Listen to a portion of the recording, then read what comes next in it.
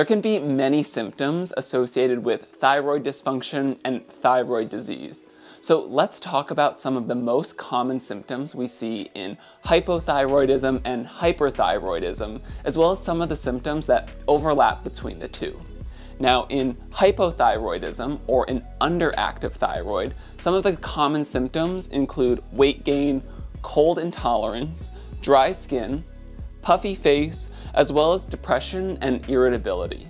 But in hyperthyroidism or an overactive thyroid, some of the common symptoms include bulging eyes, heat intolerance, nervousness or anxiety, increased sweating, as well as muscle weakness. But between both of these conditions, the overlapping symptoms can include fatigue, insomnia, and even hair loss. So if one is experiencing some of these symptoms, it's really important that they talk to their endocrinologist and also have thyroid function testing done to confirm whether something is related to a thyroid condition or not. Because these symptoms are, can also be associated with other conditions, such as a bacterial infection, a viral infection, or even other chronic diseases.